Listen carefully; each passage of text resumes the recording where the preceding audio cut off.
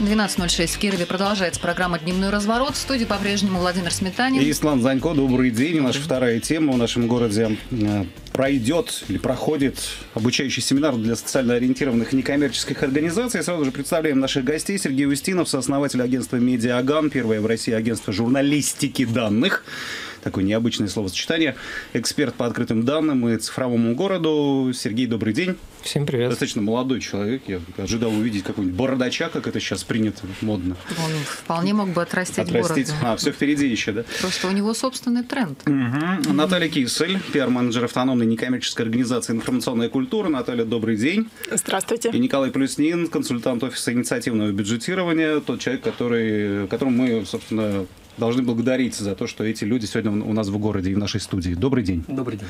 Совершенно верно. 25 сентября, это сегодня, вот как раз в 10 часов э, на э, улице Свободы 47 э, стартовал да, семинар по этому поводу. У нас сейчас 12. Он закончился уже, да. Николай? Он закончился, и вы сразу к нам. Да, прямо к вам. Замечательно.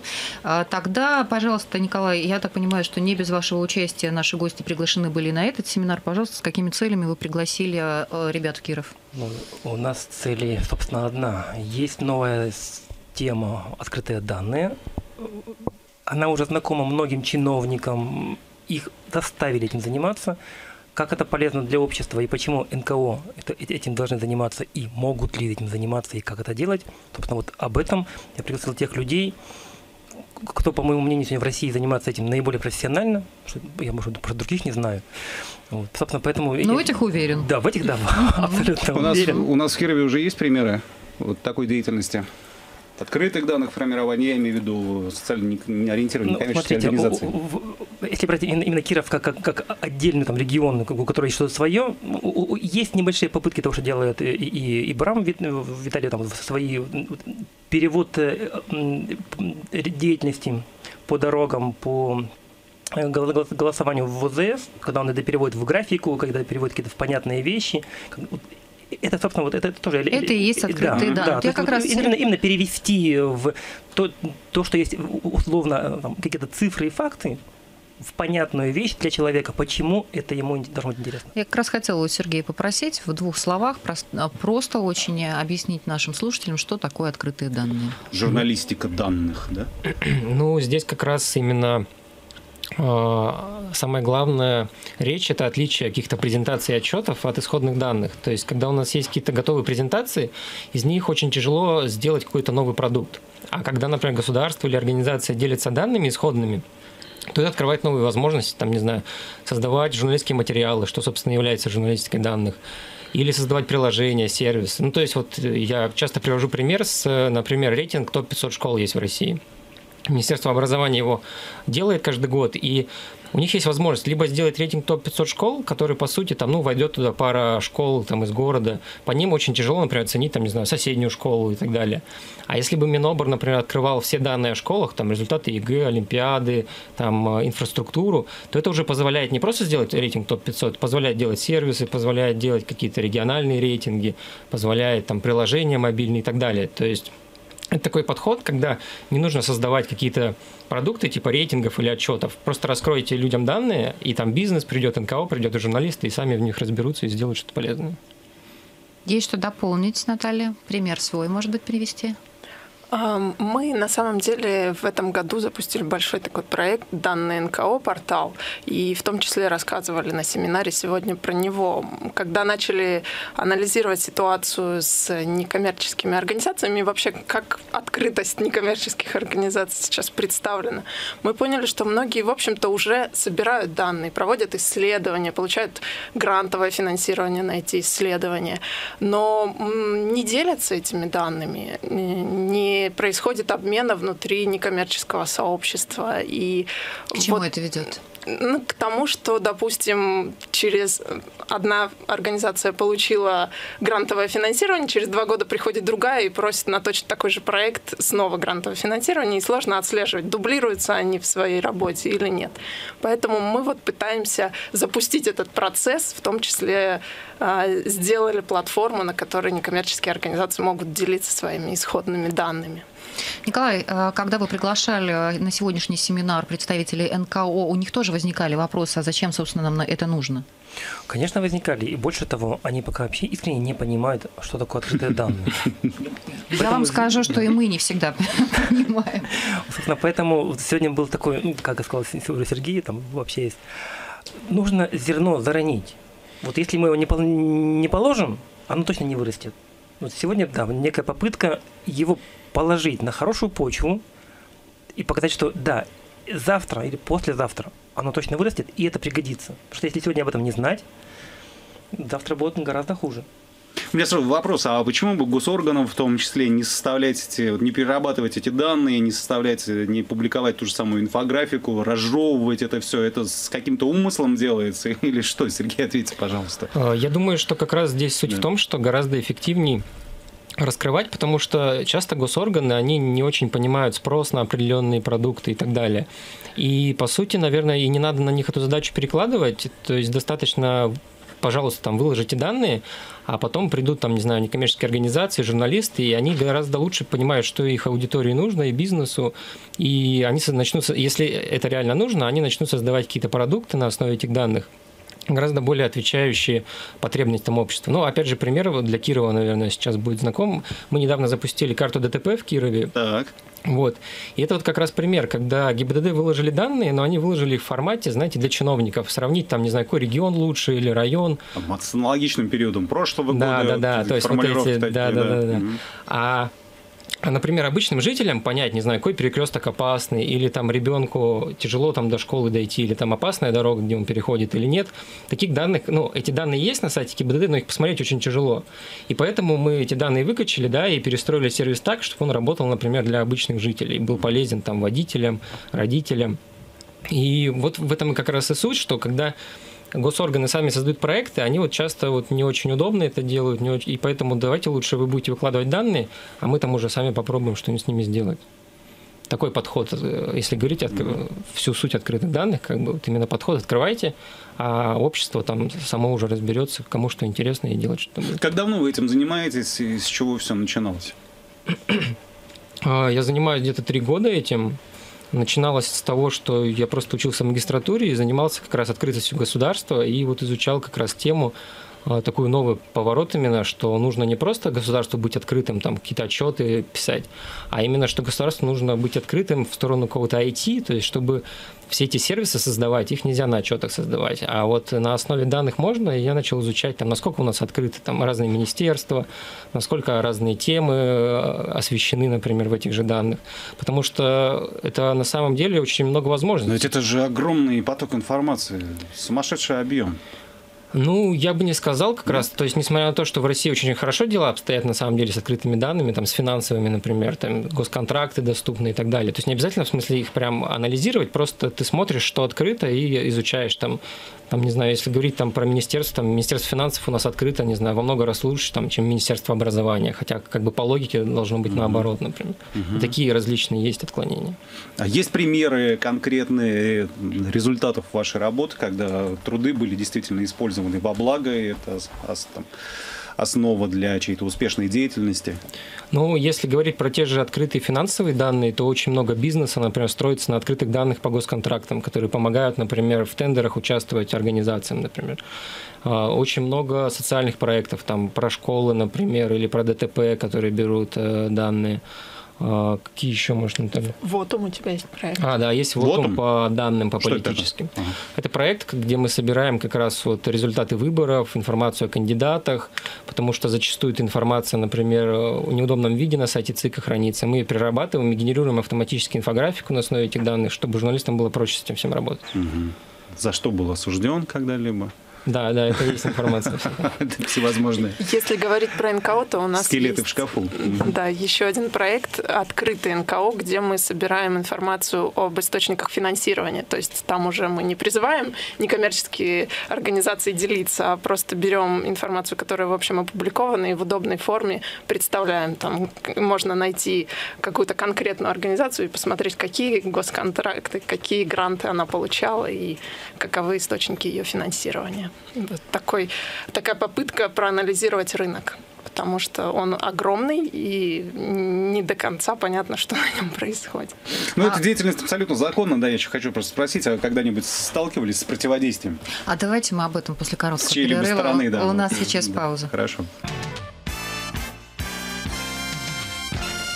Продолжаем разговор. Мы говорим о том, как открытые данные могут по помочь в работе социально ориентированных НКО. У нас в гостях Сергей Устинов, сооснователь агентства «Медиаган», Наталья Кисель, пиар-менеджер автономной некоммерческой организации «Информационная культура», Николай Плюснин, консультант офиса инициативного бюджетирования Кировского. А, вопрос, который задавал Володя до перерыва. Сталкивались ли вы с противодействием? В получении, собственно говоря, да, да. данных или в публикации? Ну, на самом деле, постоянно. То есть здесь скорее а, есть некоторые госорганы, которые, наоборот, положительно реагируют на, когда у них что-то запрашиваешь или там предлагаешь что-то выложить, а объясняешь им, что это будет им полезно. Например, Приведите, давайте да, да, похвалим. А, ну, опять же, мне кажется, Минфин очень часто да, выкладывает, э, когда просишь... Э, кто еще Минобр? Нет. Минобр вообще... А, вот на самом деле, да, Минобр одно подальше. из худших министерств по открытости вообще, потому что, ну, грубо говоря, у них даже нет данных, например, там, по средним результатам ЕГЭ по школам, они закрыты. И когда у нас была попытка собрать из отчетов, как бы руками эти данные, сделать их как бы в сервис встроить, то мы, да, столкнулись с противодействием Рособрнадзора на этот счет, насчет того, что им не понравилось, они начали нам писать а, странные письма про то, что мы незаконно эти данные берем и так далее, убирать их сервисы и так далее.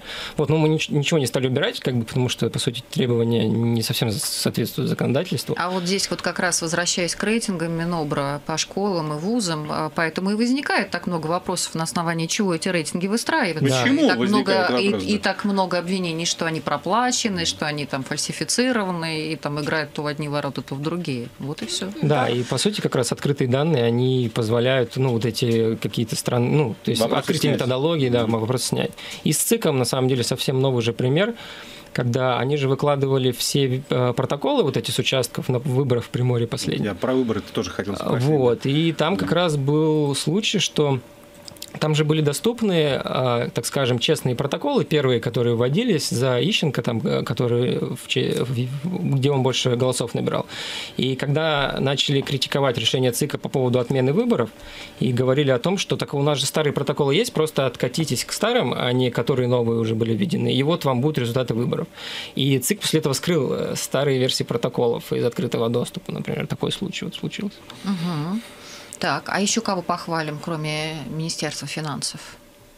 Так, Министерство образования уже поругали. ГИБДД, Московские прекрасно. власти, мне кажется, можно похвалить. Они хорошо занимаются открытостью, то есть выкладывают да, информацию про школы. Там, ну, у них очень большой свой портал по открытым данным. По поводу ГИБДД, да, ну то есть э, данные по ДТП одни из лучших вообще в стране, из всех открытых, довольно подробные. Вот, но если говорить там про все МВД, то как бы нет, например, там, не знаю, до сих пор не открыты те же преступления, например, не статистика, а прям вот данные по преступлениям, например, в Казахстане они открыты уже во, во многих западных странах тоже. Mm-hmm. Есть карты, где можно прям увидеть, что там в соседнем дворе угнали машину там месяц назад. Mm-hmm. А были случаи в вашей работе, когда вы трудились и натыкались на какую-то бомбу, на какую-то сенсацию. Там, нас дурят всех, вот мы нашли правду, вот мы ее откопали. И сейчас опубликуем. Расследование. Восстановим справедливость.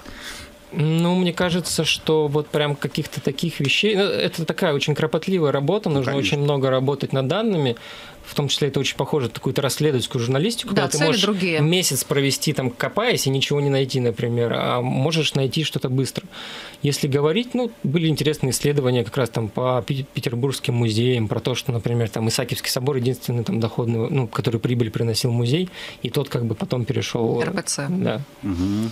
То есть какие-то такие были... Тема, тема прозвучавшая Потом громко, там, да, совсем не Были исследования тоже про финансирование партий, в том числе вот, э, про то, кто, как юрлицы их финансируют и так далее на последних выборах. Ну, то есть какие-то такие исследования на данных позволяют, по... можно проводить. Где можно, на каких ресурсах посмотреть результаты вашей работы? Да, еще раз повторите, пожалуйста. Собственно, портал данные НКО. Есть у нас большой проект госзатраты совместно с Комитетом гражданских инициатив. А, есть проект «Открытая полиция». Он в меньшей степени про данные, он больше просветительский, где мы разные а, памятки, рекомендации по общению с полицией публикуем, да. Проект «Открытый НКО». И, Сережа, твои? А, ну, есть, да, проект там «Российские школы», как раз, где мы пытались ЕГЭ собирать. Э, есть проект «Вотум» про выборы. Есть проект вот «Карта ДТП», где вот сейчас Кировская область и Москва доступны, можно смотреть. Вот, на самом деле, э, да, они в одном месте как-то, наверное, не собраны. Это надо просто как бы заходить в Google, искать там, ну, угу. дописывать открытые данные, и там обычно находится информация. Какие темы вам бы еще хотелось осветить? Куда еще бы копнуть? Что, на ваш взгляд, еще остается не совсем таким прозрачным? А, ну, наверное, если говорить про какие-то направления... Забываю уже про Минобр уже. А, направления, в которые хотим работать, это, да, политические данные. То есть интересно все-таки сохранять эту историю. Не дай бог, например, не знаю, там сайт ЦИКа в один момент перестанет работать, и мы потеряем гигантский архив очень важной общей информации за 10 лет о том, что происходило, кто там был, не знаю, на участке, какие комиссии, какие результаты, протоколы. Mm-hmm. Это бы надо все сохранять. И, наверное, направление связанная, опять же, с ДТП, на мой взгляд, довольно недооцененные данные, и, наверное, как раз правоохранительные, то есть решения судов, они сейчас доступны в открытом доступе, все решения судов, но они, так скажем, не как сказать, не, задел... ну, не вставлен в какой-то сервис удобный. То есть есть там Росправосудие, какие-то сервисы, но на них очень большое давление оказывается за то, что они раскрывают эти данные. И вот, наверное, не хватает какой-то пока вот именно в сфере тоже а, правоохранительных органов, то есть они довольно закрыты остаются. И вот, наверное, интересно в эту сторону сейчас двигаться. Угу. Давайте вернемся к НКО, Давайте, потому да. что когда мы говорим, и привод, э, э, говорим об открытых данных, приводим примеры, НКО могут подумать как раз, вот, э, ну, потому что это популяризируется, понятно, Алексеем там, Навальным и так далее, что это может быть какая-то протестная деятельность, может быть, это еще что-то, да, и, и просто обычный практический подход к этим вещам для НКОшников, в общем, неизвестен до сих пор, да, под семью печатями, зачем это им все нужно. И вы сегодня как раз им в течение двух часов разжевывали, что это такое, почему это важно, полезно, открыто и а, официально все. Давайте пройдемся вот как раз по каким-то примерам, которые вы сегодня приводили а, представителям некоммерческих организаций. А, Сергей, да. Основные примеры Наверное, они связаны с тем, как использовать данные для какого-то взаимодействия с внешним миром для НКО, то есть для пиара, журналистами, с другими НКО.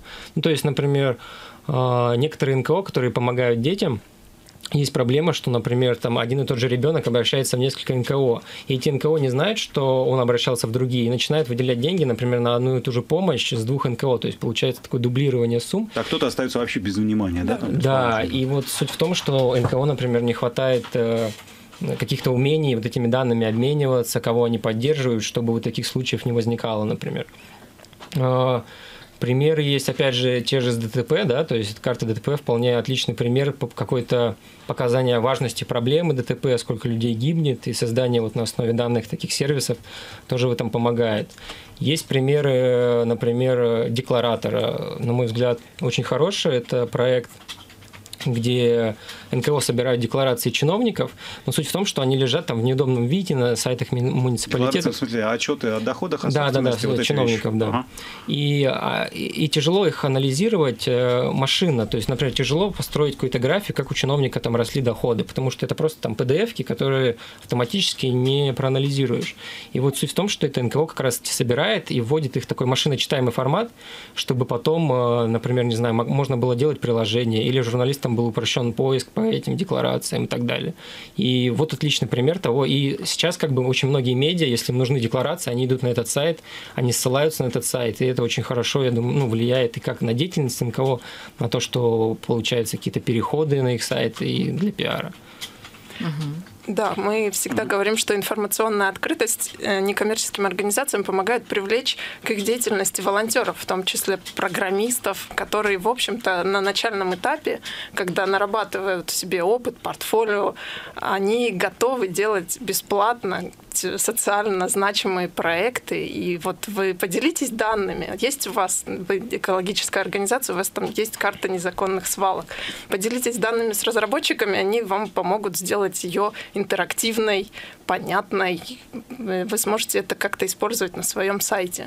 Это как раз вопрос о ресурсах, который всегда стоит перед да. НКО. Где найти специалистов, кто поработает без денег. И с этой проблемой столкнувшись раз, два, три, они опускают руки, НКОшники и думают, что нет, это практически недостижимо, невозможно потратить деньги на айтишника. Это же безумные деньги, правда? И вот как раз действительно такие коммуникации через интернет, открытые данные, они покажут, что не только в Кирове можно искать, например, тех же да, специалистов по компьютерной грамотности. Но даже в Кирове они стоят не так дорого, как в Москве.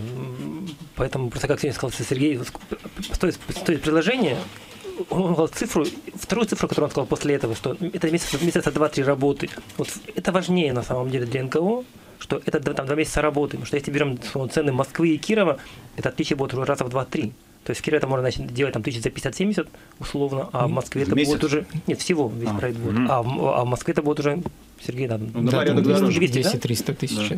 да, поэтому даже наоборот, искать в Кирове программистов, возможно, более удачная идея для НКО, чем там в Москве их искать. То есть на аутсорсе такой, ну, да, да, да, да. на удаленке на какой-то. Ага. Любопытно. Кто сегодня был, скажите, пожалуйста, вот нас Сегодня было много тема? организаций. Да. Сегодня, знаете, я, наверное, впервые видел такой полный зал в обществе, обществе знания. Там было человек, наверное, больше 40. Ну, реально. Первый зал впервые нет, в обществе знания. Нет, реально да. было. Нет, сегодня много было людей, mm-hmm. было для меня удивление. Ну, да, это были активные организации э, э, города Кирова все-таки те, кто уже пытается получать деньги грантовые и получать их регулярно, они понимают, что есть какие-то вещи, которых они не знают, и надо все-таки успевать за трендами. Ну вот на, на что сейчас конкретный запрос, вот то, о чем мы говорим в, это, в этой области, есть у наших Смотрите, НКО ну, вот Сегодня, поскольку у мало у кого вообще есть э, кадры там, э, именно айтишные, mm-hmm. мало кто может себе что-то позволить в этом формате. Они что-то слышали, что-то что-то понимают, поэтому они ищут больше, больше пока это вот формат первый, это понять, что это такое, и второе, как мы можем успеть, в, в, если вдруг скажут, что все, этот поезд уже отходит, как мы в него можем успеть, с чем мы туда можем попасть. Поэтому сегодня, да, это был больше такой информационный выход. Ознакомительный. Да, да, встреча. Потому что есть такая штука. Угу. Как этим пользоваться, да, это вот, ну, как, как вот сегодня тоже рассказывали, что это проводятся немножко ну, другие форматы. То есть там есть там и хакатоны, это двухдневные какие-то мероприятия и прочие вещи. Тут, наверное, об этом лучше рассказать Наталья. Вот. То есть если мы что-то хотим, есть какая-то задача, можно переводить в такой формат. И тут уже можно выходить, да, и к нам, к, к, к, уже к нашим студентам, у нас тоже хорошие студенты в Кирове, мы знаем, что... Опорного университета? Да, естественно, да. То есть, Айтишники. Да, и, и, и мы встречаемся, там, через два часа у нас там встреча об этом. Ой, я как раз хотела спросить, да. подарите ли вы эти знания нашим студентам? Угу. Ну вот, я думаю, что мы, мы сегодня должны договориться, и не знаю, как, как у коллег мнение, сегодня договоримся? Я думаю, да, это отличная возможность вовлекать какое-то местное сообщество, связи строить между НКО и IT здесь на местах, как бы, а не через Москву как бы это делать. Так, пора нам сделать небольшую паузу, да? У нас реклама на минуту сейчас будет. Сергей Устинов, сооснователь агентства «Медиаган», эксперт по открытым данным и цифровому городу, Наталья Кис, LPR-менеджер автономной некоммерческой организации информационной культуры и Николай Плюснин, консультант офиса инициативного бюджетирования. Это наши гости, мы вернемся через минуту. Продолжаем так, разговор. Работаем. Мы просвещаемся и просвещаем ваш, вас, слушатели, если вы еще не в курсе, что такое открытые данные как их можно использовать а, и в своей жизни, в своей работе. А в частности, мы говорим о том, что сегодня представители некоммерческих организаций погружались в эту тему.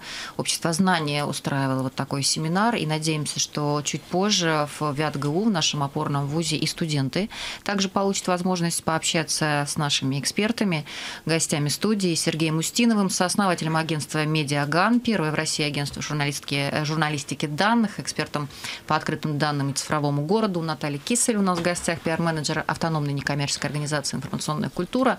Николай Плеснину, спасибо, что позволили нам пообщаться с экспертами. Николай Плеснин, консультант офиса инициативного бюджетирования. Коль, я не очень поняла, что ты э, попросил Наталью в перерыве озвучить.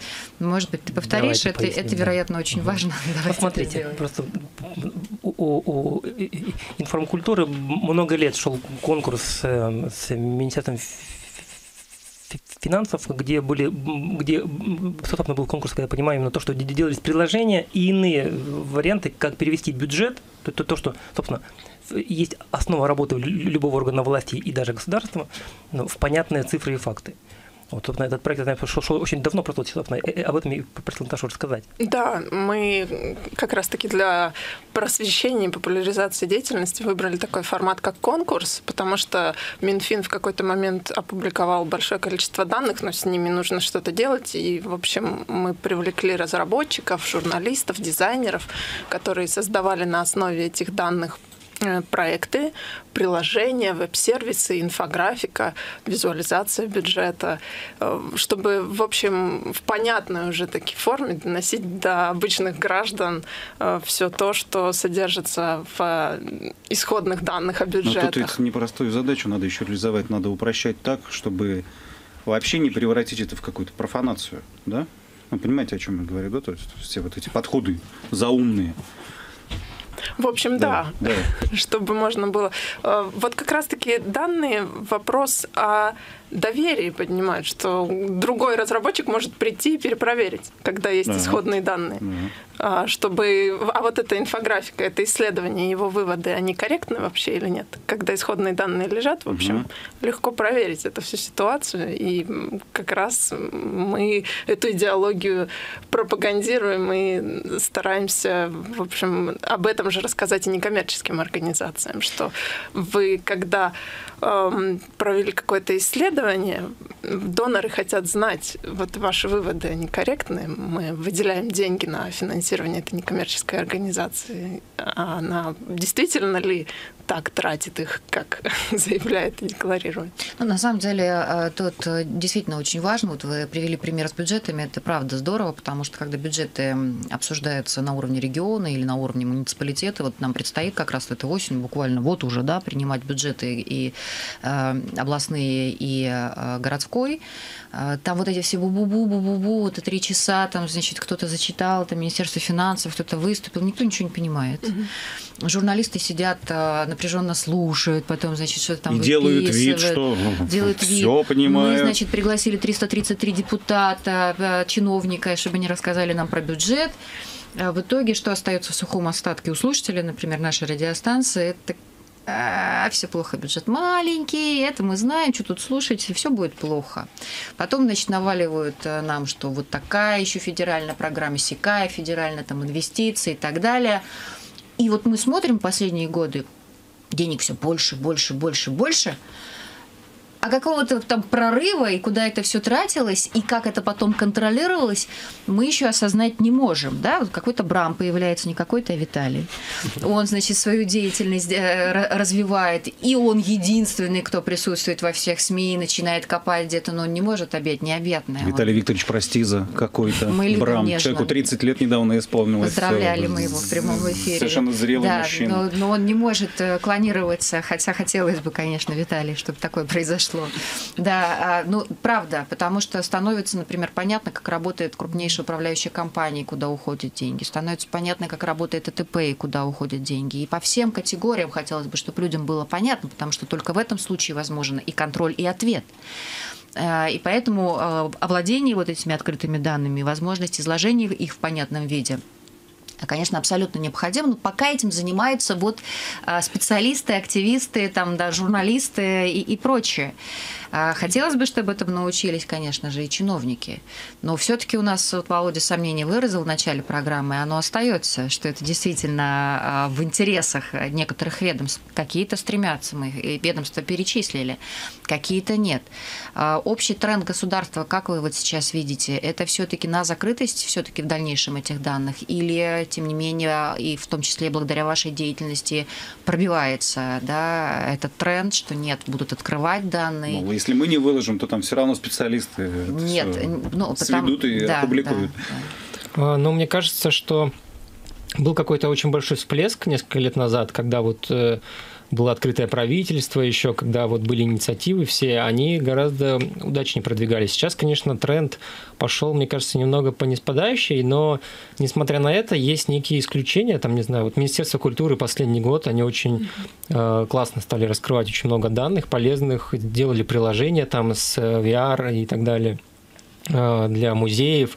И мне кажется, что вот отдельные инициативы, они сейчас начинают прорастать, да, то есть это до этого была какая-то волна, где вот как раз, да, заложили какую-то основу, где-то кто-то открылся, а сейчас вот начинают уже как сказать, общий тренд спал, но какие-то активности отдельные, они прям очень хорошо сейчас начинают выстреливать и расти. Угу. Да, вопрос об эффективности. Ведь, допустим, бизнес, он же весь сейчас про данные.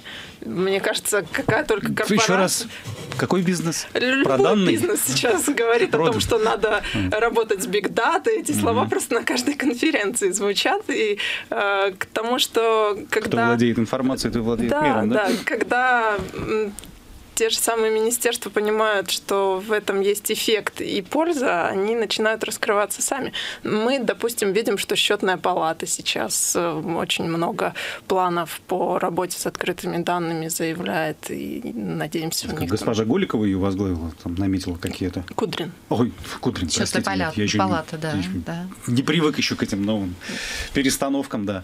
А, я еще хочу спросить Николая, как представителя офиса консультантов инициативного бюджетирования, ну, как известно, у нас нас в регионе две формы реализуются, да, это народный бюджет и ППМИ, а вы вот как специалист в этой отрасли, каких вам данных не хватает, на что вы наталкиваетесь, этакое, ну, смотрите. в чем бы могли помочь вот наши специалисты? Ну вот, сказать, в лоб каких? Ну, у, нас, Или... у нас вообще мало данных, вот реально, чтобы они были понятными. Как, бы, как, как сказала Светлана, да. Вы еще вообще вслепую действуете. Ну, смотрите, мы исходим из того, что есть некая сумма в бюджете, обычно некая, которая будет выделена на проект поддержки местных инициатив точно знаем, какая будет на народный бюджет, но это уже там, там суммы меньше. Угу. И у нас наша работа, как мы себе ее видим, людям объяснить, что вы можете выйти в конкурс. Выиграете, не выиграете, это другой вопрос. Когда мы будем знать, что, я вернусь к своей любимой теме, да, про закон про инвестиционное бюджетирование, чтобы была некая гарантированная сумма, тогда нам будет проще там, работать и нам, и людям, с кем мы общаемся, им будет проще планировать свою работу. Пока у нас и данных нет есть попытки перевести наши проекты в некую там графику, в, в некий анализ, но тут тоже, собственно, я понимаю, что данные есть, мы знаем, сколько стоит там условно километр дороги в асфальте, сколько стоит в щебенке. На, министр... на сайте Минсоцразвития регионального там есть, есть инфографика. Есть, и... она, она, она сейчас появляется, да. но она еще очень, еще не в том виде, чтобы ее можно было хорошо переработать. То есть они сами добавляют в том виде, в каком могут. Данных именно открытых, вот именно вот в том виде, каком это, это будет понятно для для работы программиста переработки пока нет. И я думаю, что было бы интересно сделать такую вещь, и даже в целом по России это было бы интересно, но пока мало понятно как. То есть, поэтому, скажем, было бы интересно сделать это в виде графики, это, это было бы разумно. Вот, ну и просто, просто сегодня по поводу графики, вот мы сегодня говорили с Сергеем, он показал карту по Кирову, где, где идут аварии. Все ровненько. Воровского понятно, Московская понятно, Октябрьский проспект понятно. Я видел у него другую карту по городу Махачкале, где у него такое красное пятно, в, в Каспийском море. Что туда? Машины туда вылетают. Вот, да, это вопрос уже про качество данных, которые государство раскрывает и даже собирает. И то есть, да, проблема была в Махачкале, что там почему-то координаты были у половины ДТП настолько как бы невалидные, что они наполовину в море где-то были, и приходилось эти координаты возвращать э, по адресу, искать э, более правильные, чтобы какая-то картина появилась, какие перекрестки опасны, какие нет, приходится очень много такой работы с государственными данными тоже делать. Такую, наверное, а очень большая часть затрат как бы временных уходит на то, чтобы эти данные, скажем, причесать. Горячие дагестанские чиновники как-то свалили все, да? в одну кучу. Но мы же сделали, сделали, все хорошо.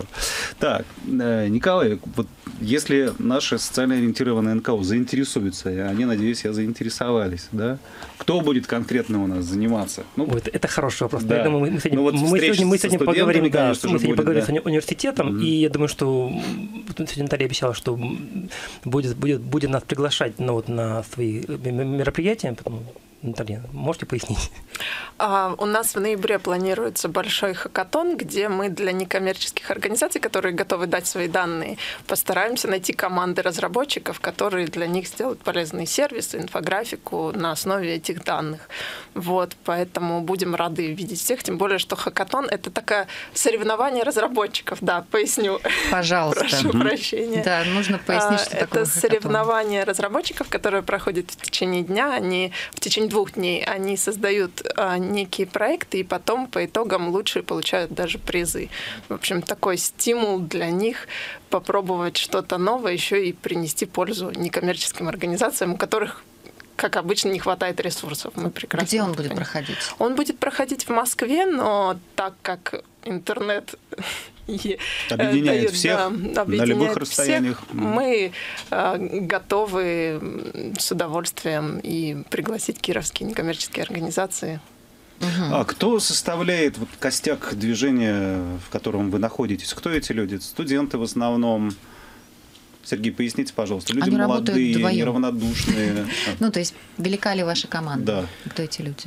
А, ну, есть на самом деле просто некоммерческие организации, например, инфокультура, которая отлично продвигает как раз вот это все движение про открытые данные. Есть... Ну, кто конкретно эти люди? А, Возраст, Иван Бехтин, глава инфокультуры. Возраст. Основная работа есть, нет не основной работы. А, ну, основная работа как раз э, Ивана это вот э, Э, заниматься тем, что как бы продвигать открытые данные, mm-hmm. чтобы они больше открывались, создавать проекты на основе этих открытых данных, типа вот госзатрат, когда контракты раскрываются. То есть далее. это тоже социальное предпринимательство, да? Ну, это НКО, то есть я бы не сказал, что там есть предпринимательство, здесь скорее речь именно да, про чисто пользу общественную. Mm-hmm. А если говорить о нашем сообществе, которое, в общем, мы на протяжении нескольких лет формируем, то а, возраст очень разный. Если смотреть на наши мероприятия, ну, наверное, от, начиная от студенчества до 35-40 лет наша целевая аудитория, потому что, в общем, вот еще вопрос. Последний. Это, это, это движуха, вот уж простите за такое слово, эта движуха, она вся сосредоточена в столице, либо в других крупных российских городах тоже есть очень я бы сказал, что в столицах, конечно, она гораздо лучше развита, больше хакатонов, там конкурсов проходит. Но сейчас, да, за счет того, что можно дистанционно участвовать, вовлекаются регионы. Вот, но пока, как бы, как сказать, физически там мало мероприятий, откровенно говоря, проводится. Но дистанционно возможность есть, конечно, у всех. Вебинары есть у вас? Да, у нас есть вебинары. Куда идти в есть... соцсетях? Лучше всего искать нас как инфокультуру. И мы есть во всех соцсетях, у нас есть сайт, и даже есть онлайн-курс, в том числе Сережа да, рассказывает есть чаты там в Телеграмах, там, по-моему, есть Open Data Russia чат, и там почти тысяча человек состоит со всей России, где обсуждают, там, где данные найти, как что-нибудь сделать, и Инфокультура и Open Data Russia чат в Телеграме. А, Сергей Устинов, Наталья Кисель. Вот там их можно найти, задать свои вопросы, возможно, влиться в это движение, поучаствовать в этом процессе. Спасибо Николаю Плеснину, что пригласил к нам этих замечательных людей. Завершен дневной разворот. Его сегодня для вас вели Владимир Сметанин и Светлана Занько. Я и... не прощаюсь, продолжу заниматься раскрытием данных да, через 20 минут да, о детских Соверш... садах. Совершенно верно. Лариса, э, Лариса Кописова, замглавы администрации. Кописова да. придет э, к нам э, в гости. Вы слушайте внимательно, потому что все, что касается э, мест в детских садиках, школах, а также социальной и образовательной инфраструктуры в этом городе, все в ее руках. Она обещала, и она обычно так и делает, да, ничего не скрывать на, на все вопросы, а ответить. Через 20 минут в интервью вы с ней встретитесь. Мы прощаемся. До свидания. До свидания. До свидания. До свидания.